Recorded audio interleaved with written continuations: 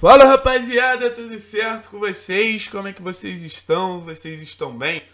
Seguinte, para terminar esse nosso nossa retrospectiva, acho que a gente pode chamar assim, né, da primeira fase do Campeonato Paranaense, a gente já falou dos pontos legais, dos pontos ruins, dos grandes erros e também dos momentos mais marcantes positivamente.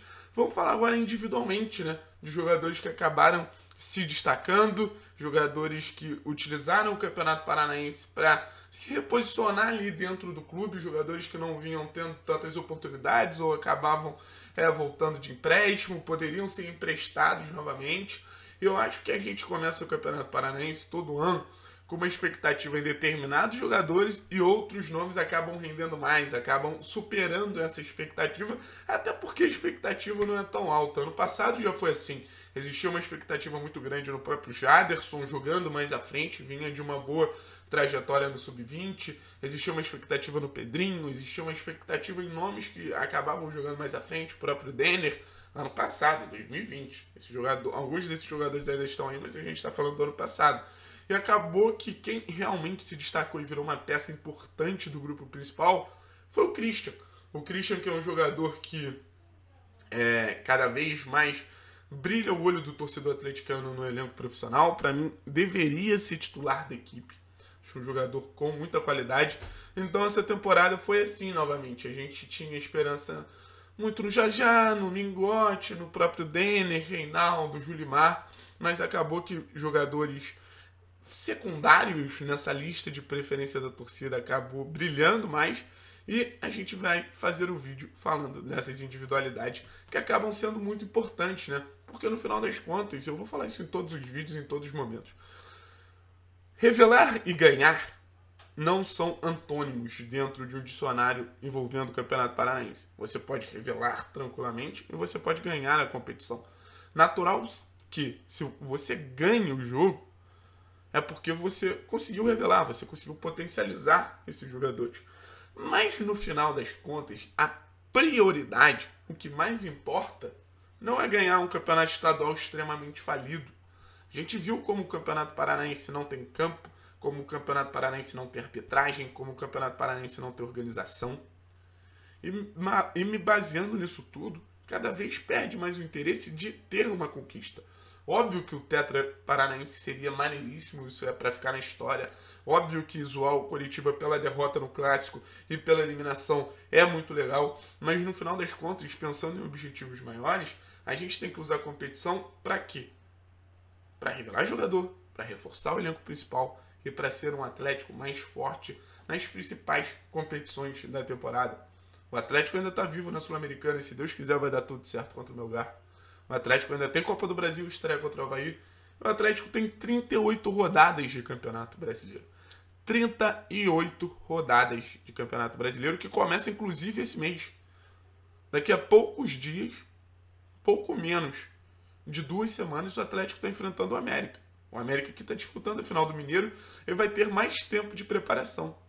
O mês que o Campeonato Paranaense ficou parado vai ser cobrado agora. O Atlético vai jogar uma sequência de jogos, o América vai ter menos confrontos em sequência, vai pegar o Atlético na final e tudo mais, sabe? Então é, é algo para a gente ficar ligado. Eu vou ser bem sincero, levando essa primeira fase em consideração, isso ainda não faz parte dos três pontos, tá? Isso é uma outra opinião. Jogadores que eu promoveria. Anderson no gol, acho que o Anderson e Bento tranquilamente podem ser esses reservas do Santos, sabe? Na lateral direita eu levaria o Cleiton, para ser uma última opção ali da lateral. Acho importante você ter mais um jogador para a lateral direita. Na zaga, naturalmente subiria o Luan. Subiria o Halter também, mas como o Halter machucou, naturalmente subiria o Luan. No meio, subiria Cauã e Denner. E quem sabe o Giovani.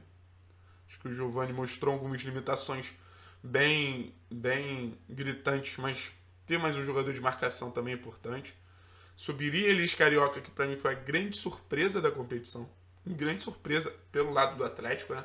Não esperavam ele desempenhando, sempre que entrou, sempre que foi pedida a presença dele, ele foi muito bem. Subiria Reinaldo já já pela qualidade dos dois mesmo, não fazendo um campeonato maravilhoso.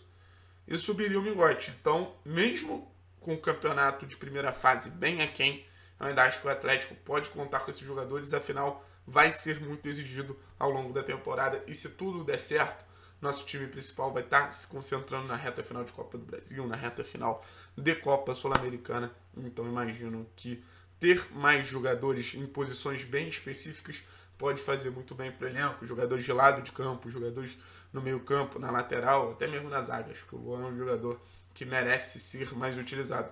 Mas agora vamos, vamos entrar nos três pontos, né? Os três principais destaques dessa primeira fase de Campeonato Paranaense. E o destaque de número 3 é ele, Cauanzada, Cauã Gabriel, um cara que fez uma assistência belíssima, belíssima, belíssima para o gol da classificação do Mingote. Acho que manteve um nível de atuação muito bom ao longo de toda toda a competição. Assim, obviamente teve jogos melhores, teve jogos piores, mas é um jogador muito dinâmico, um jogador que tem o controle do jogo e mostrou uma capacidade de marcação contra jogadores mais físicos que me chamou a atenção, assim. Em vários momentos o Cauã parou o jogo no momento certo, conseguiu fazer desarmes, conseguiu roubar a bola. É aquele jogador que recebe o passe de costas, gira e começa a desenvolver jogo. Em muitos momentos foi anulado por essa marcação. Os adversários conseguiram entender essa saída de 3 mais 1 do Atlético e anularam o Cauã, mas sempre que teve alguém do lado dele auxiliando essa saída de bola, conseguiu trazer muita qualidade pode ser esse primeiro jogador de meio campo voltando para fazer a saída de bola entre os zagueiros, mas conseguiu se desenvolver atuando mais à frente, tanto que o passe que ele deu para o gol do Mingote, um passe bem bonito por sinal, foi ali na entrada da área.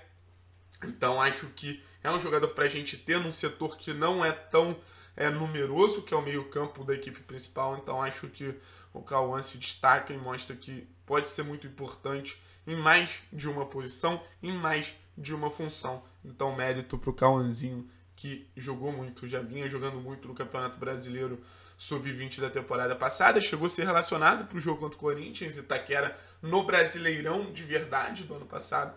Então, vejo o Cauã como sendo esse jogador assim de, porra, tô contigo, Cauã, vamos subir, vamos qualificar, mais uma opção para volância ali, Christian, Eric, Cauã, Citadini, Richard, próprio Giovanni, pode ser o próprio Patrick, então vejo um Atlético mais forte nesse setor. Agora, número 2, número 2, número 2, número 2, Anderson. Número 2, Anderson, um jogador assim que veio de empréstimo, poderia ser emprestado novamente. Clubes de Série A e de Série B interessados no jogador, queriam que ele, né, que o Atlético liberasse. Teve torcida do Náutico fazendo campanha para o Anderson voltar e tudo mais. Mas no final das contas, o Anderson fez o que a gente esperava. Mostrou que é capaz de ser é, uma peça importante do Atlético. Fez uma primeira fase muito, muito, muito, muito, muito, muito segura. Defendendo bolas difíceis, sendo importante em vários momentos. Boa saída de bola, boa recomposição.